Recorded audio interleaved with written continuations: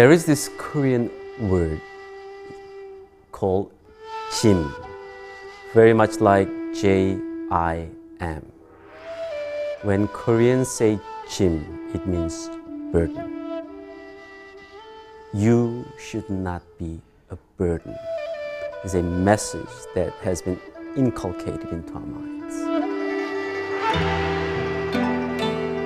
The complexity, color, and vitality of the Korean American experience. Today on World in America. For thousands of years, Koreans have thrived as a distinct people with a culture and language uniquely their own.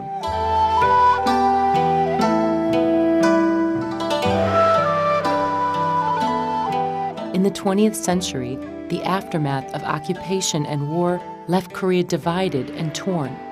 By 1953, two countries stood on one ravaged land. Soon, however, many Koreans would turn their plight into a drive for excellence. From the ashes, South Korea was reborn. A world away, Korean Americans would be hailed an immigrant success story. On this episode, we'll meet Korean Americans from different walks of life to learn their take on a remarkable picture. Dr. Kil Jae Yi came to the U.S. 30 years ago. Now a professor of history and a long term New Yorker, he paints one view of Korean Americans, drawn with the eye of a scholar and colored by experiences of a former immigrant. One of the dreams of many Korean parents in Korea is to send their kids to America and let them receive American education. Now, that really is a dream because not many people can afford to send their kids to America to pursue their education. So, better way is to immigrate to America and give all the children the best possible education that my parents thought can be obtained in America. So we are relatively comfortable in Korea but we all thought that if we go to America, my, we the kids will receive the best possible education. And that was the primary force behind our uh, six family members packing and coming to America. Today, generations of Korean Americans call the U.S. home. Dr. Yi traces the roots of a vibrant community. How did this community begin? We have to go back to the beginning of the 20th century when Korea was a, a colony of Japan. There, there was a small group of intellectuals who came to study in America at the same time start some sort of movement for their independence from their Japanese colonial uh, masters. Thousands more came after the Korean War. In addition to adopted children and the bridges of veterans, America welcomed a few talented individuals. Come 60s, professionals came, mostly doctors and nurses, and some foreign students who wanted to pursue PhD degrees in America. Up until that point, it was a very small community.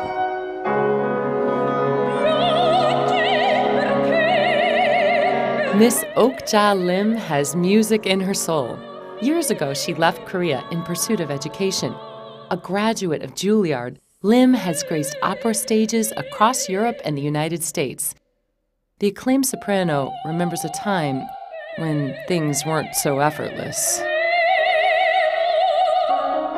When I left my country at the time, it wasn't easy to go abroad to study, you know, and lots of preparation legally also, you know, restriction. But tough time we had it, but we had a strong faith in ourselves and in God. I said, just lead us in the right place.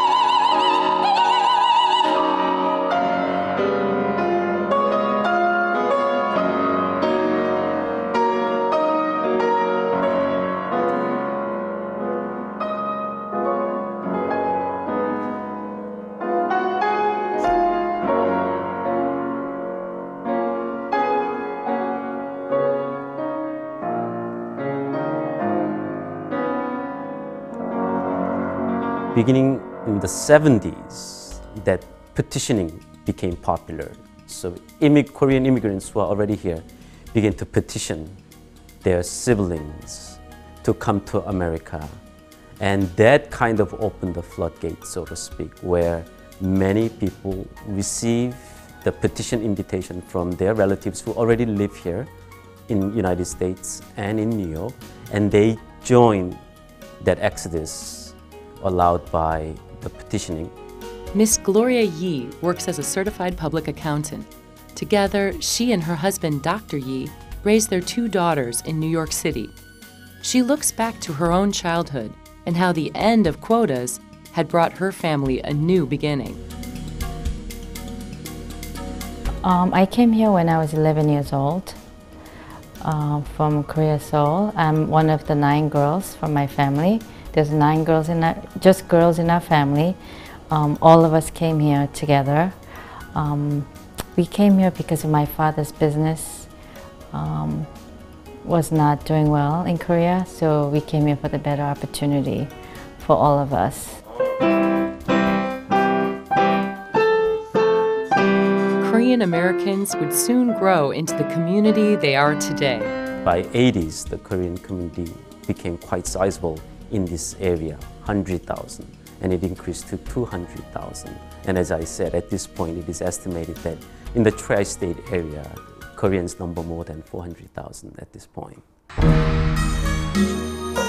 By some estimates, nearly 2 million Koreans now live in the U.S., largely in California, New York, and surrounding areas. Among them are a number of dynamic individuals drawn here by America's cultural mix. Miss Sumi Rowe is one of them. The very first instance that I came to um, America was when, um, after my initial um, studies in university, that I, before I go to graduate school, I wanted to discover some world on my own and to see at least like what um, kind of other, I mean, people in the world actually um, live and do. So I spent about three and a half months traveling around the world on my own. And the first destination was actually um, America. Rowe's zeal for the Big Apple ripened into a job with the UN. The architect, wife, and mother is also an accomplished pianist. Miss Sun Kwak matches a Korean sense of focus with an independent modern style. Seen here in an installation hosted by chic designer Salvatore Ferragamo, her work speaks to audiences far and wide. I came here 14 years, years ago to study, and uh, the reason why I came here to, to experience broad um, uh, cultural experience as an artist. Back then, I thought that um, uh, the art in America is the, the center of the world, so I wanted to go directly to the center. Making your way in a new country doesn't happen overnight. Koreans forging ahead in America often face a number of challenges. The first major shock was the language. I had two years of relatively primitive English instruction, and my English was not adequate. It was not enough. First of all, I didn't understand English at all. So I didn't speak a word of English. And uh, we were staying with our cousins who were born here.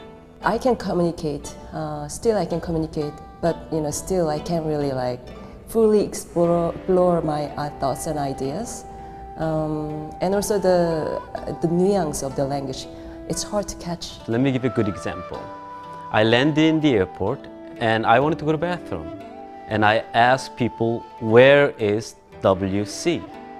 And that's how I learned that bathroom is WC, white closet. So I went around asking people, WC, WC, and no one was able to tell me what WC or where WC is actually. So it was uh, quite a painful experience starting from the airport. The larger issue was language past the hurdles of language, many run into stereotypes. Although we have a good side of culture, that um, a lot of Koreans, Americans, like um, I, whether be it in a food or in a music or in a schools, um, a lot of people think the Koreans are very diligent. The Koreans really study, um, make their kids study like um, really well. Koreans are known to be very diligent and they are very hardworking as well as very, very hard studying people. And I think those positive prejudices are, valid. Koreans came here not with whole lot of money in their pockets or bank accounts, but with modest means. And you can tell that, especially in, the New York, in, in New York City, there are a lot of Korean owned and operated shops. And they literally change the way we buy and consume things. Most of the Korean shops open 24 hours. That could be perceived as a sign of diligence. It could also give off a wrong impression that Koreans, all they wanted to do is make money. But one thing is quite clear, that because of these shops that are open 24 hours, 365 days, we can just go out, walk out into the street and any time of the day or night and buy what we want and what we need. Despite certain setbacks, Korean Americans have worked hard to turn negatives into positives. As artists and entrepreneurs, scholars and professionals, they waste no time in sharing the fruits of their culture, their passion, and energy. As you have to like really struggle to show uh, and to prove yourself in every other thing, in our music, our art, and our studies, and our um, culture and food, and, and the, kind of people's behavior in the restaurants and all that. I think we developed um, the good points about it, like we excel in everything that we do.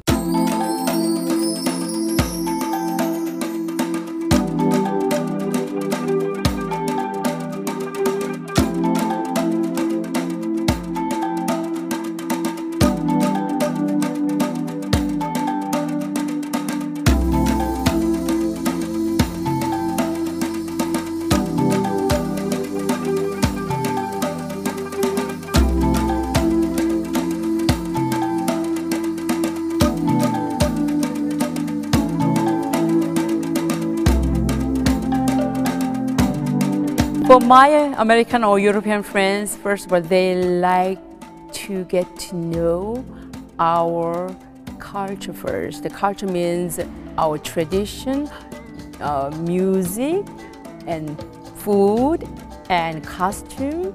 And personally, when they get to know who we are, then they felt comfortable. 안녕하세요. 큰집 레스토랑, 아, 큰집 식당 어, 박혜화입니다. She said 안녕하세요. That means in English, um, hi or how are you? And her name is Hewa Park. At Kunjip, authenticity starts at home. Kunjip is Korean for older brother. Stop by this Manhattan restaurant and hospitality takes on a new meaning. Owner Miss Haiwa Pak makes every dish with mother's care. She and her daughter, Miss Christina Yang, reveal the spice and sizzle of one heartfelt cuisine. When we think of the Korean food in the United States, is that um, the rice, basically rice and some spicy soup, and a lot of side dishes, which includes the kimchi and a lot of vegetables, and sometimes there's fish, and also the barbecue, which uh, which is like bulgogi or um, fish, 피쉬예요. and lots of vegetable dishes. 어, 이거는 돌, 돌솥에 만들어 어, 직- This is um, uh, steamed rice in a stone pot, hot stone pot. These are the kimchi, radish. I mean, this is radish. This is cabbage. These are the, all the vegetables. Um, this is a bulgogi.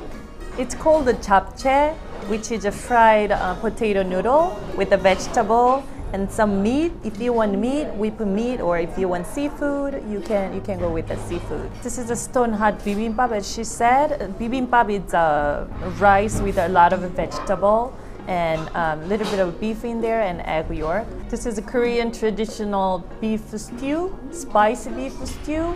Uh, with a lot of vegetable inside. This one is the another bibimbap, but my mom made it. Um, this is a tofu bibimbap, so it, this is for the vegetarian. This is another bibimbap. This is a stone hut, uh, the squid bibimbap. This was created created by uh, the, our customer Steven, but he said it's like a Steven uh, squid bibimbap. It's called sundubu jjigae. That's a tofu soup. Um, it's made with the seafood and a little bit of vegetable. This is called a doenjang jjigae. It's, it's a uh, bean paste soup, but in Japanese you know, the miso soup. It's like a miso soup. This is a grilled fish, grilled mackerel. Um, yeah, we um, we serve this um, the the fish for the breakfast mostly. It's really good. Thank you. Thank you. Ancient and varied, the traditional music of Korea excites and inspires. There are instruments that shimmer and songs full of comedic folly.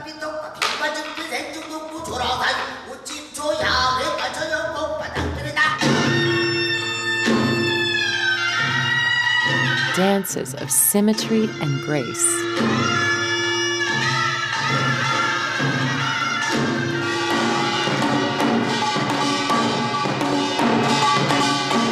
Meet whirling celebrations of a farmer at harvest.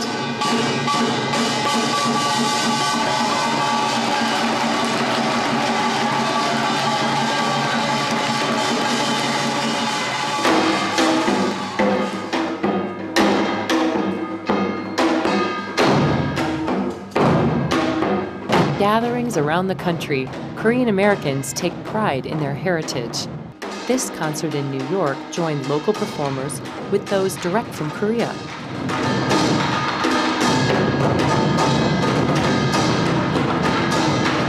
The dance is known as bukchum. They play the drums of ecstasy. The music and motion invoke the harmony of creation.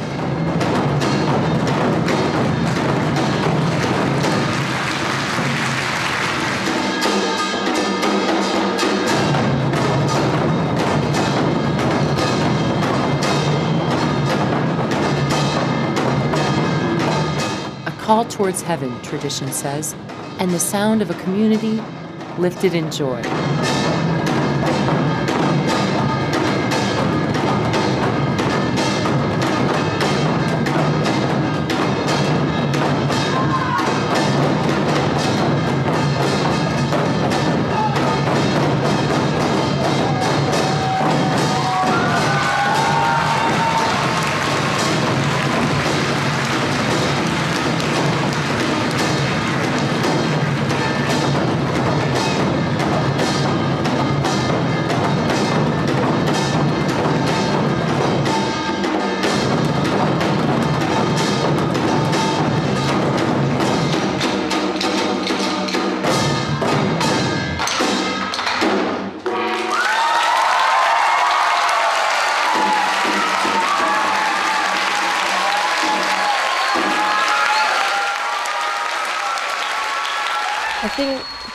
Personally, culture already starts from um, what you feel inside and how you reflect or radiate what you feel inside. That as in a group, it sort of um, radiates to the, the, the third party who perceives you or the whole Koreans themselves. Beyond festive displays and bright holidays, Korean Americans honor the deeper hallmarks of their culture. Language is one, commitment to family, they say, is another the importance of respect for elders. That's very, very important. And sometimes it can be a point of contention between the first generation Koreans and second generation younger Koreans. In old days, the grandparents and you know, grandchildren, they all live in the one house and they have a res respect for elderly people. I feel that there's, um, there is a problem or this, this idea of, about the notion of the filial piety that we were taught and we were taught to, um, and were brought up to respect, it's, it's in a way, um, unfortunately, it's like eroding away. The expression, I am tired, as a parent, has no bearing on my children. When they wanted to go play in the playground, my urgent plea that I am very tired does not register in their mind. You know what their response is? You are tired, but we are not. So we'll enjoy it, so let's go to the playground. So suppose my father came home and said, I'm very tired. I'll fetch him a glass of water. And I'll volunteer to do massage. And I'll try to make him feel better. However, for my kids, although, although they are very generous with helping me in many other areas, when it comes to their individual happiness, mine comes second, third, or behind to their individual happiness. I think that's a kind of, you know, little subtle example, but I think it can be found in many, many homes of Korean American community. Families must also tackle broader issues of identity. In this kind of you know mixed um, um, society already in the family, starting from family, it's always a challenge because my little boy comes to me, and asks me about like, oh, you know, in school I learned that like um, I can do this kind of thing. Like why why do I have to do it in a Korean way? And we sent him to like Korean school for a weekend, Saturday school. He says, I want to go for like um, swimming. I want to go for like birthday party, which is like big thing for a five-year-old. But that we say, that he says, why do I have to speak Korean? Why do I have to go to Korean school?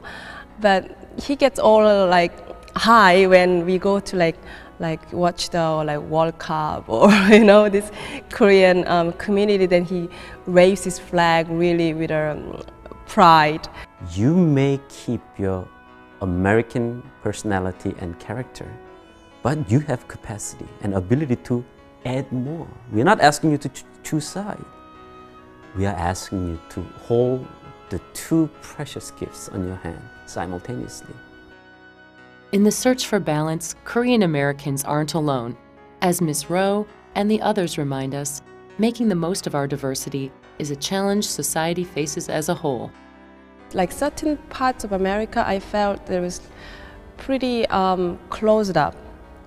There's a degree of like not that openness and being um, liberty and all these kind of things. But I felt New York is like you try to accept and to live with all kinds of different people from different places and you actually um, grow together with all these different ethnic communities. American sense of acceptance comes from the fact that it is imperative. It is a must. If this society loses that sense of acceptance, then we are going to have the biggest cultural battlefield in the world. So it's an imperative that we learn to accept each other, no matter how different we are at times. So it's a must to begin with. And second, I think we are culturally aware as a society that it is really beautiful to listen to music of different tradition, dances of different tradition, to taste different food that use, use different spices. So I really do feel that Generally speaking, as a population, Americans do have capacity to taste and try a different things, more so than the societies that I have been to. To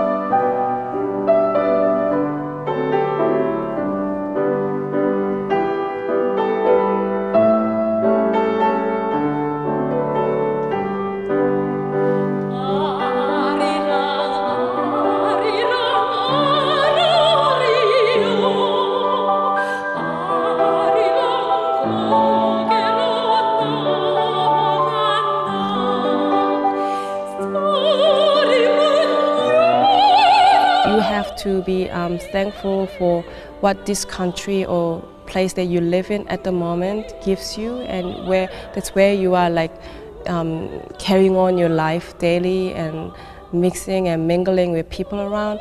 But also there's something um, that actually you came from like not really even if you're not born here it's, like, it's something that you carry yourself. And I think that really makes you a rich person in both identity and the way you think, the way you eat, the way you behave, the way you um, live and talk to people.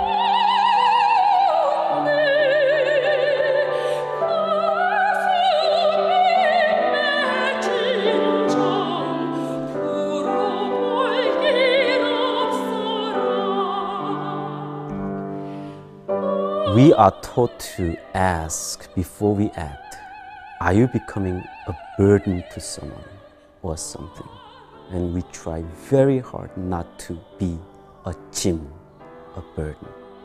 And I think this is a generalization, of course, but Korean Americans share that teaching and keep that teaching in their hearts. Try not to be a burden to others or to the society at large. I think that's the, one of the reasons why we as a community try to be productive, as productive as we can, and learn, devote our time to learning so that we can be independent and not becoming Jim burden to anybody else. We are not successful all the time. We are a community of imperfection. However, that certainly is a foundation on which we stand as a community.